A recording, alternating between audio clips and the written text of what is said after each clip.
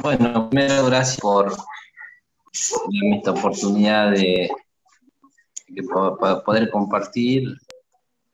En este momento sería lindo que reflexionemos sobre a quién estamos sirviendo y, qué clase de padre es el estamos sirviendo.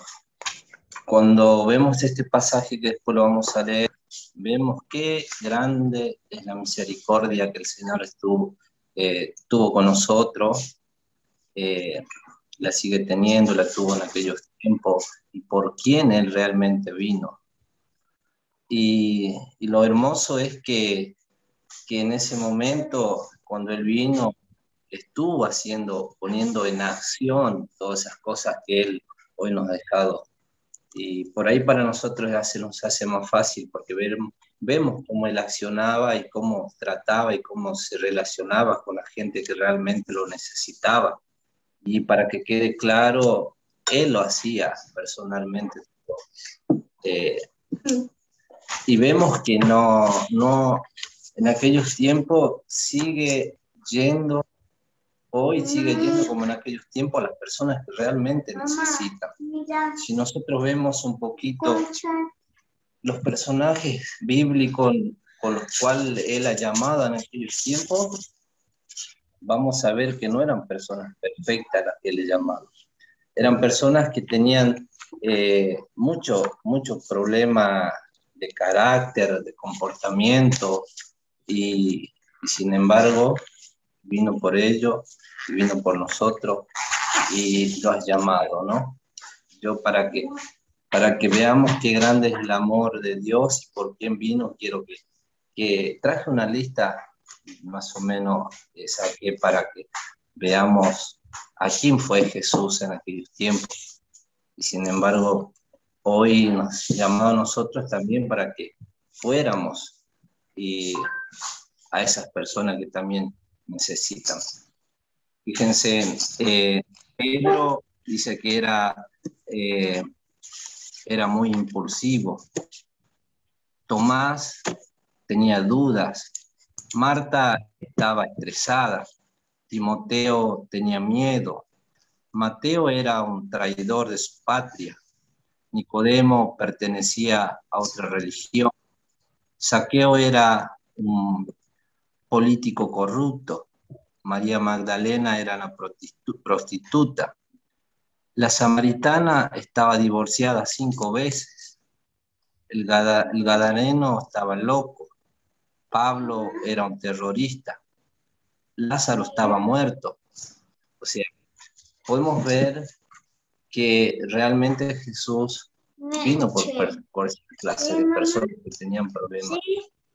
Y y hoy, como le dije hace rato, no está, no está Jesús eh, en, en, cuerpo como en aquellos tiempos, pero está en espíritu y necesita que nosotros nos para que su obra se siga, para que su obra siga este, eh, eh, viva, ¿no es cierto? Y, y, siga, y a través de nosotros, Él pueda seguir rescatando a las personas que realmente necesitan médicos, como le dijo cuando estuvo eh, sentado eh, en el banquete que le hizo Mateo o le hizo Leví. Para ver y hablar un poquito de eso, podemos leer Marcos 2, del 13 al 17. Dice, después vio salir al mar y toda la gente venía a él y les enseñaba. Y al pasar vio a Leví, hijo de Alfeo, sentado al banco de los tributos públicos y le dijo, sígueme. Y levantándose le siguió. Aconteció que estando Jesús a la, en la, mesa en casa de él, muchos publicanos y pecadores estaban también a la mesa juntamente con Jesús y sus discípulos, porque habían muchos que le habían seguido.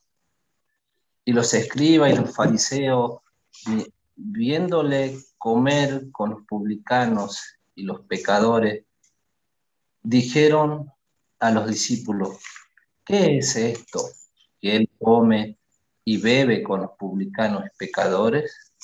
Entonces, al oír esto, Jesús le dijo, los sanos no tienen necesidad de médico, sino los enfermos.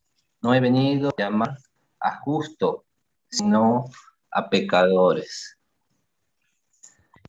Eh, tengo acá este, para un, este, una descripción para leer sobre este. Por supuesto que no se lo hice yo, pero lo saqué porque, eh, bueno, yo todavía no, estaría, necesitaría mucho tiempo para hacer un análisis tan profundo como, como un desarrollo que encontré sobre este, de este versículo.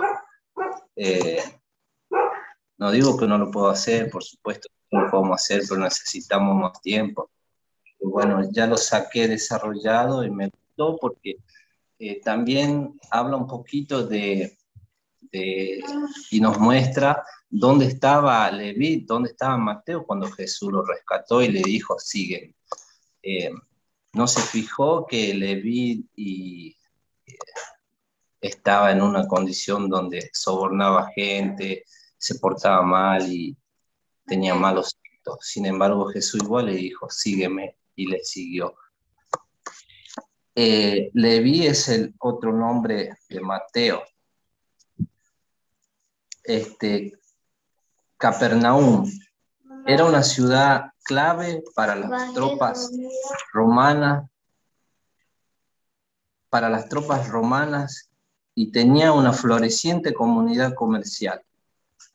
Varios, varios caminos principales se cruzaban en Capernaum, por los cuales pasaban comerciantes que viajaban desde lugares tan lejanos como Egipto al sur y Mesopotamia al norte. Leví, que después fue llamado Mateo, era un judío que trabajaba para los romanos cobrando los impuestos en aquella zona. Cobraba tanto los impuestos de los ciudadanos como de los comerciantes que pasaban por la ciudad. Los cobradores de impuestos publicanos debían deducir una comisión de lo que cobraban como salario, pero la mayoría cobraba de más y se quedaba con la diferencia enriqueciéndose de manera desmedida. Los judíos despreciaban a los cobradores impuestos por su fama de estafadores y por su apoyo a Roma. Los fariseos hipócritas estaban indignados de que Jesús comiera con semejantes pecadores. Sin embargo, Jesús se asoció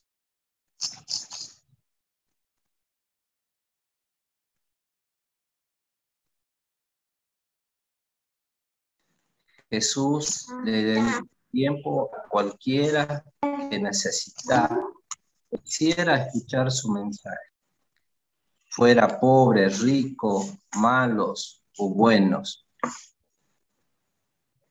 Eh, nosotros también debemos hacernos amigos de quienes necesitan a aunque no parezcan ser compañeros. ¿Hay alguien con quien usted no se ha relacionado debido a su reputación, es posible que esa persona sea quien más necesite ver y escuchar el, mensaje de amor de Cristo por medio de usted. Eh, podemos ver que, como le decía, este, era un desarrollo que, podemos ver cómo Jesús este, eh, accionaba y iba, y lo que a mí me gusta es que, que no rechazaba, en este caso rechazó una invitación que le hizo Levi cuando le, le ofreció hacer eh, un paquete para él. Jesús quizás eh, podría haber dicho, no puedo ir porque este, no, me puedo juntar con esa clase de personas. podría decir, eh, no son personas que centradas, qué sé yo, pero sin embargo Jesús fue y, y, estuvo ahí porque él realmente estaba haciendo una obra por la cual fue enviado. Eh, juntarse con los que realmente necesitan. Como, como estuvimos viendo a, eh, un principio, bueno, eran las acciones de que, yo decía, una de las acciones que Jesús este, eh, hacía era eh, juntarse realmente con gente que necesitaba. Pero hay algo que podemos aprender de, de Leví acá que a mí me gustó mucho y el texto mismo lo dice, yo me pregunto eh, cuando leía qué, es, qué será que hizo eh, con las cosas, con el cargo que tenía Leví cuando lo llamó Jesús, cuando pasó por ahí, le dijo, ven, sígueme. Y en el texto podemos ver que en el texto mismo dice, dice, eh, se levantó y le siguió. A mí me gusta preguntarme qué habrá hecho con las, con las cosas, con el trabajo que estaba haciendo. ¿Será que, que primero fue a, a, conversar con sus mayores, le dijo, dejo el puesto, no puedo seguirlo haciendo? Pero el texto nos dice algo, el texto nos dice algo fuerte, dice que, que ahí se levantó y le siguió, eso es lo que dice el. A mí me gusta que eh, ahí Mateo no dudó en el primer llamado lo siguió a Jesús. Y, y a veces digo yo, este, pensaba, mientras leía esto y pensaba eh, en, su, en su vida, todo lo que están siempre a través de la pantalla o otros que no pueden estar, a veces me preguntaba, ¿será que todos los hemos seguido en el primer llamado que Jesús eh, hizo. Por ejemplo, en mi caso, eh, cuando Jesús pasó por mi vida, yo al instante y le dije, yo te voy a seguir. Sin embargo, después de, tres años, si bien tuvimos ahí una flaqueza, pero siempre con el paso de los tiempos eh, nos dimos cuenta que fue porque Dios eh, quería que diéramos un paso al costado para que poder seguir la obra. Lo que la mayoría sabe que, que no, yo no estaba de acuerdo con algo que me decía mi estimado pastor, hoy no, con el tiempo eh, lo supe amar más y reconocer más que fue el quien nos pastoreó eh, desde el primer día que nosotros llegamos acá, de que llegué acá. Y, pero por propósito que yo me he creo que Hoy nos sentimos agradecidos de que el Señor desde un primer, el primer mundo que nos hizo, hemos aceptado y estamos aquí, eh, tratando de llevar una tarea de que nos enseñó, nos encomendó y ojalá podamos llevarla hasta el final, eh, porque realmente eh, aquí también hay necesidades de muchas partes la estamos llevando, la estamos llevando. Siempre nos preguntamos cómo será que lo estamos haciendo y bueno, el Señor pues, responde a través de, de, una renovación y eso nos sentimos que estamos haciéndola bien. Estamos agradecidos que ustedes también son parte de esto, principalmente son parte de esto de la, que estamos realizando. Y, que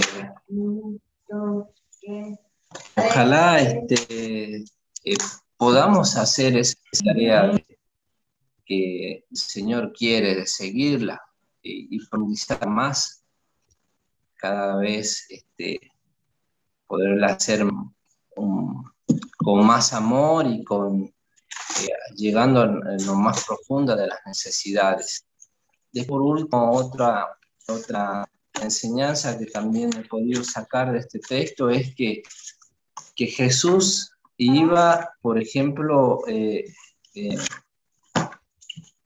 en, en, este caso fue una invitación, como le decía hace rato, podía haber dicho Jesús este, que no iba a ir a juntarse y a cenar, a comer con ellos, pero sin embargo Jesús, Jesús fue eh, y él iba ahí y tenía una intención clara La intención era de, llevar y de a las personas que estaban, perdidas. Eh, creo que nosotros podemos hacer lo mismo, donde haya una oportunidad, no importa eh, en qué, clase de, juntada sea, pero nosotros tenemos que ir, pero con una misión que es este, eh, de tratar de llevar una palabra o tratar de rescatar ahí, porque Jesús dice que, que, Él estaba entre medio de los pecadores, pero por su palabra y por su enseñanza, por su comportamiento, por su acción de gracia, por su misericordia, por el poder que tenía, que muchas veces sanaba a la gente, la gente eh, eh, iba hacia él, se entregaba, venía. Me imagino yo esa dulzura que Jesús tenía para, para hablarle, para enseñarle, que la gente le, se aglomeraba, iba. Entonces, nosotros también podemos hacer. Yo digo que eh, a veces a mí, en alguna, algún tiempo, como le dije, a mí me habían prohibido el deporte. Me habían, me habían dicho, no, tenés que elegir ir a la cancha, jugar fútbol o venir a la iglesia. Yo nunca estuve de acuerdo, pero bueno, eh, también nunca me puse por eso con, con pastor. Pero bueno, después con el tiempo yo hoy me puedo dar que es la cancha, es un lugar donde nosotros podemos ir y tenemos multitudes de personas, pero no tenemos que ir y, y accionar como accionan las gentes común y corriente. Nosotros tenemos que ir con una forma, con un estilo, con una, con una forma que Jesús quiere que vayamos para que podamos predicar, porque si no tenemos este, eh, un buen comportamiento, eh, no podemos traer a nadie, nadie se te va a querer acercar. Tarde me decía mi hermana que, que fue el director del hospital a, ahí a la casa y, y bueno, este, quería hacer, tomar, eh, hacer alguna cosa y, dice que le, le dijo, bueno, tengo que hablar con, voy a hablar con Jesús porque es el único quien se puede hablar pacíficamente y quien entiende un poco más y, y quien eh, puede comprender y, con él se puede hablar, dice, porque no, eh, con nosotros, con los otros hermanos míos no, no, tienen, no tienen esa paciencia y ese respeto que tenemos que tener a tratar a las personas. Y entonces él quería hablar conmigo, conmigo, porque dice que le dijo que yo lo podía escuchar y podía comprender y podemos charlar, se puede dialogar con nosotros. Y entonces entre mí decía, eh, quizás si me hubiera conocido antes no hubiese dicho esas cosas, porque yo realmente era otro, otro pero el Señor me, me ha transformado. Y cada vez, hoy en día, cada vez que voy a tomar, o a accionar en algo, siempre lo, pienso dos, tres veces cómo tengo que hacer. Lo primero que me viene es que somos llamados a ser luz para poder eh, atraer a las personas, porque si no, no tenemos un buen comportamiento, no tenemos un respeto, eh, no tenemos amor, no vamos a traer a nadie. Entonces, hoy cuando ella me decía eso, y entre mí dije, gracias Señor, es lo que tú quieres que hagamos con las personas, que tratemos con amor y es una forma para, para poder llevarlo y que ellos conozcan a, a nuestro Señor.